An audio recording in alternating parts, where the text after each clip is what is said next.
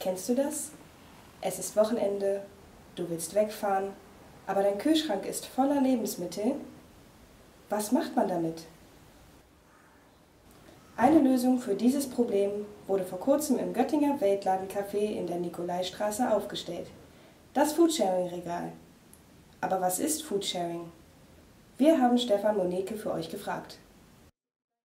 Foodsharing ging vor hm, zwei, drei Jahren ungefähr los und hat angefangen als Organisation, die sich zum Ziel gesetzt hat, Lebensmittelverschwendung irgendwie versuchen einzudämmen.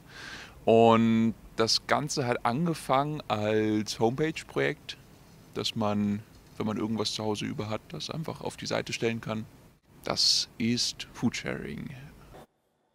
Kann man einfach alles in das Regal reinstellen? Richtet sich in erster Linie danach, ob der Verteiler eine Kühlmöglichkeit hat oder nicht. Ähm, unser erster Verteiler steht im Weltladencafé, da gibt es keinen Kühlschrank, keine Kühlmöglichkeit. Ähm, das beschränkt sich auf alles das, was im Laden auch nicht gekühlt werden muss. Der zweite Verteiler, den wir gerade einrichten, der wird ins Autonomikum kommen. Das heißt im Blauen Turm im Erdgeschoss auf dem Zentralcampus. Da gibt es auch einen Kühlschrank. Da kann man dann auch Joghurt reinstellen, beispielsweise oder Milch. Und das heißt, ihr könnt Gemüse, Obst und abgepacktes im Weltladencafé fair teilen. Aber es gibt auch Ausnahmen. Was nicht ähm, mit dazu kommen sollte, sind Sachen, wo Salmonellen ein Problem werden kann. Das heißt ähm, Erzeugnisse aus rohen Eiern oder Fleischprodukt. Also rohes Fleisch ist auch kein Punkt für uns. Aber ansonsten ist eigentlich alles möglich. Wir haben uns vor das Weltladencafé gestellt und Nutzer des Verteilers für euch befragt. Wie bist du auf Foodsharing aufmerksam geworden? Ich habe das zufällig gesehen, als ich im Weltladen war und dann war da diese Kiste oder das Regal direkt neben dem Ausgang. Und dann habe ich mir das angeguckt und dachte mir schon, das ist ja ganz praktisch. Meine Mitbewohnerin hat bei Facebook einen Link rumgeschickt an ihre Freunde und halt auch an ihre WG. Und ja, da war ein Artikel über das Foodsharing hier im Weltladen drin.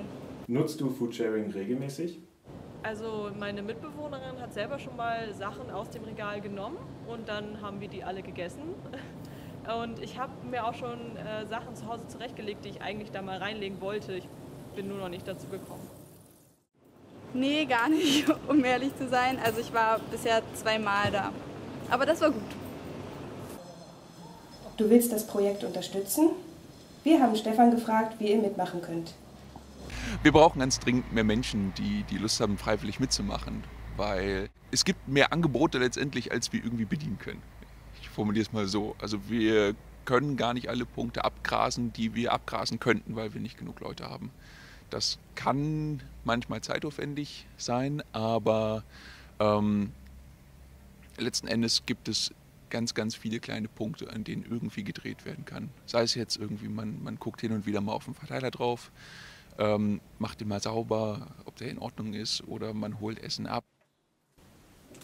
Also, packt eure Sachen und bringt eure übrig gebliebenen Lebensmittel in ein Foodsharing-Regal in eurer Nähe. Und so könnt ihr ohne schlechtes Gewissen euer Wochenende starten. Foodsharing, eine Alternative zum Wegschmeißen.